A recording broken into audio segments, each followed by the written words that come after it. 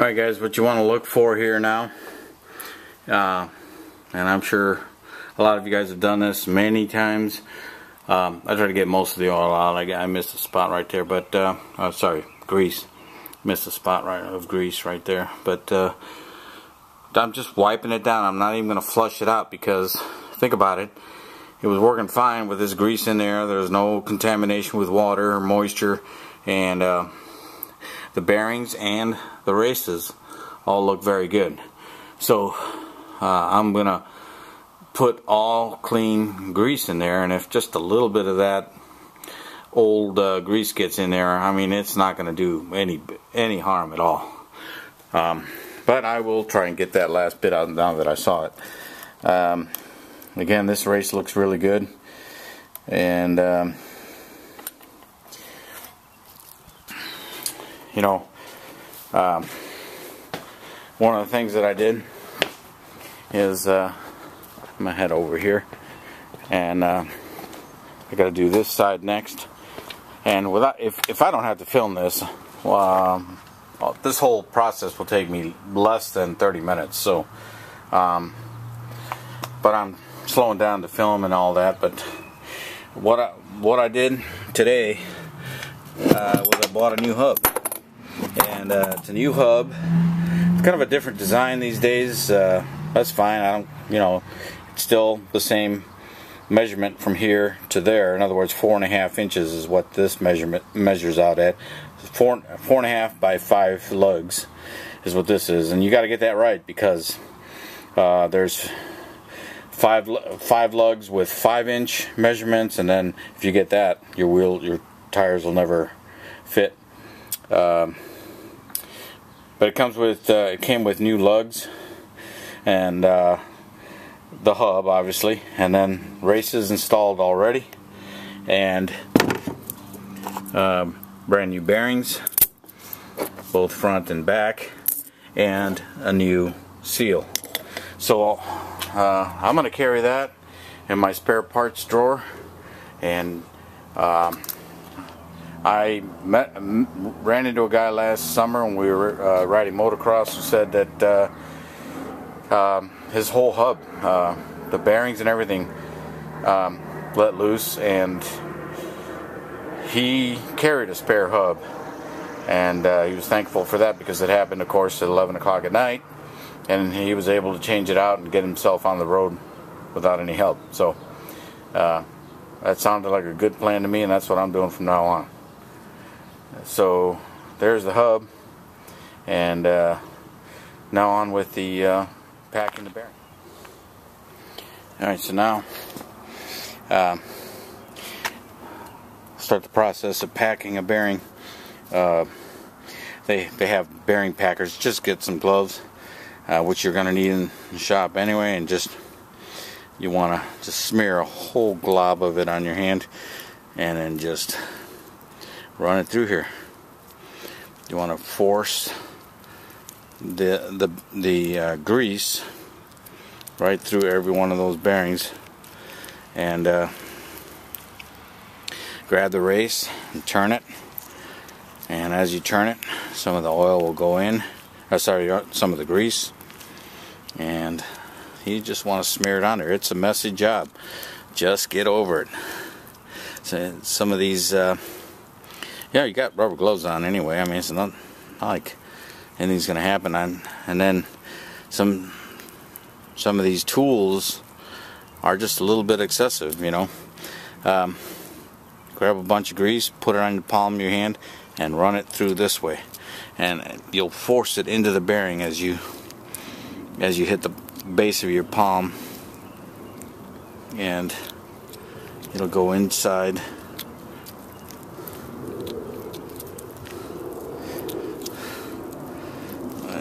just turn them and you know this bearing's ready to go. It's nice and packed full of grease. Um, I will now do the other one. And any what I do then is any excess grease like this just get it all together pack it inside the uh, the hub. And that's where you need a bunch of it anyway. You want a lot of excess grease in there. So just get it all together. This one's ready to go. Now, grab a little more. And again, just work it towards the edge of your palm. I hope, I, I hope that's in there. Get it nice, coated. Turn them a few times by holding the inner race. You need to hold the inner race so the inner race turns against the bearings. That'll rotate the bearings around. And uh, you of course want to check the bearings when they have no grease on them or when you've cleaned them up a little bit and see if you hear any kind of uh, grinding or you see any of the bearings loose then you want to replace them but all these both of these bearings on, on this wheel at least are good so that's it now this bearing's packed ready to go and uh,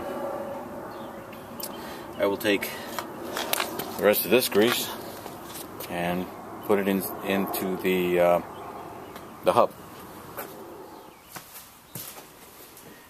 Okay, so now I have the. Uh, you can see that. Yeah, I have the um, hub on the anvil of the vise, and here is the uh, seal. Um, actually have to put the um, the bearing in there but um, I have this tool let me get the other parts of it you can see what it what it looks like it's a bearing race driver set now I bought this from an auto parts store that was going out of business um, you know um, I'm not telling you to go out and buy one of these. You may not need it. You could use a socket. But if you have this in mind that it's something you may need and you see a auto parts business going going out or um, a shop that's going out of business and they, they have these things. Uh, you may be able to get them for a good price. I got this for five bucks. Um, to all the different uh, race sizes, sizes. And here to give you an example it comes with a driver which you can hammer on. It's all aluminum so it's very lightweight. Um, you just unscrew it and uh, uh, you drive it this way to drive the race on and in this case I'm going to drive the seal on so I turn it around bolt it up and uh, it gives you a nice flat surface to hammer on, even surface so that the uh, uh, the seal you get one about the same size as the seal so the seal doesn't get cockeyed. It still may, but you're hammering it right from the center. Should help you drive the seal on. So I'm going to get the bearing, stuff the bearing in there, and then we'll hammer on the seal. Alright. Um, have the bearing in there. There's the bearing. Just put it in there. And the uh, seal goes next. And grab a ball peen and uh, just drive it slowly down. Should not require a lot of force.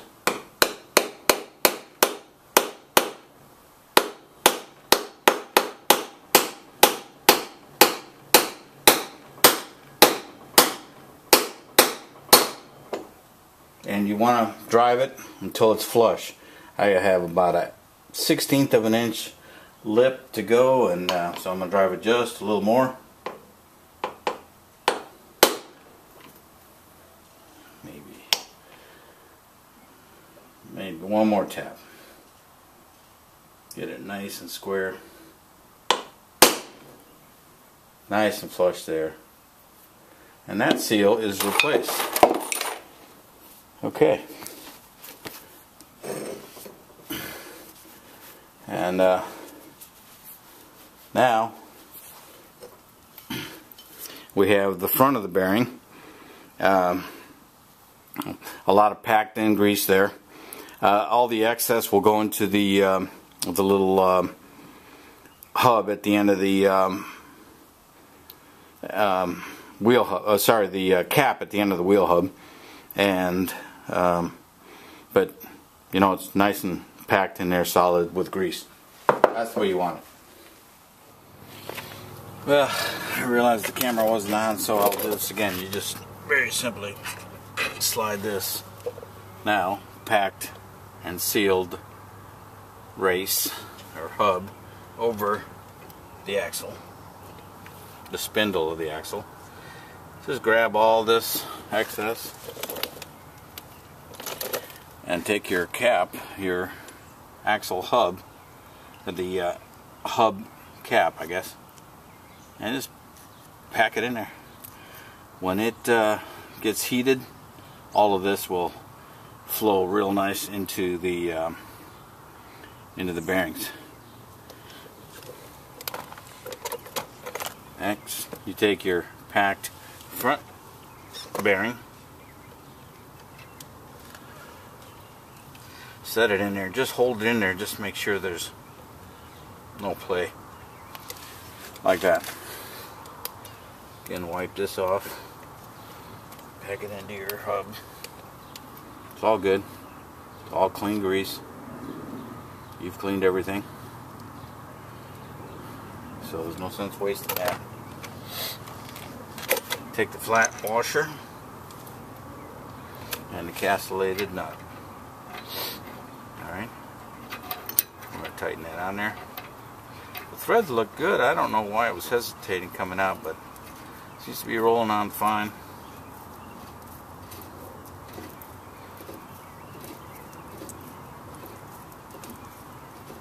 I'm not going to worry about it. As you pack this in tight, you'll get some grease coming out. So you're squeezing it out. Put it back in your hub.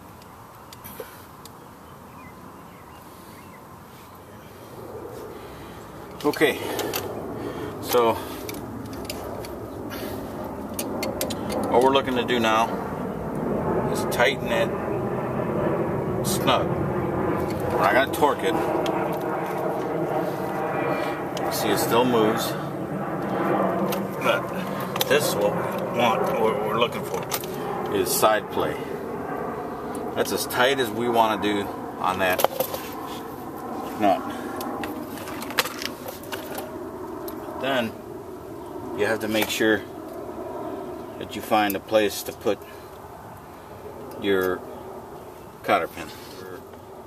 Cotter pin. Cotter pin.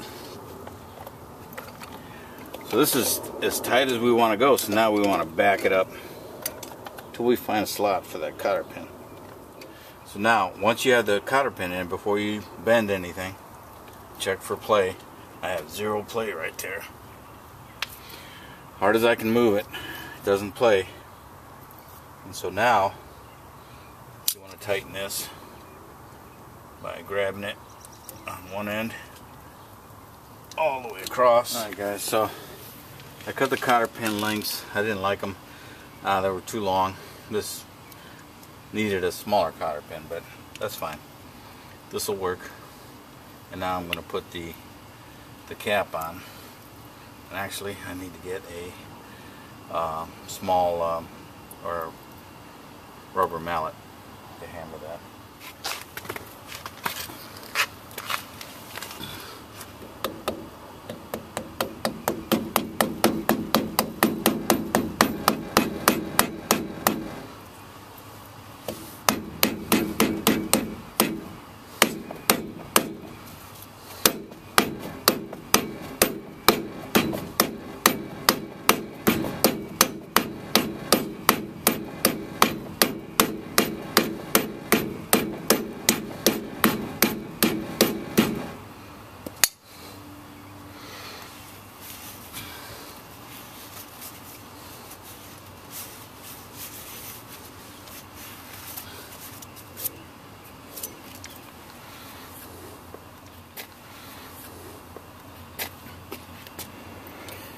And uh, there it is with the uh, hub in place.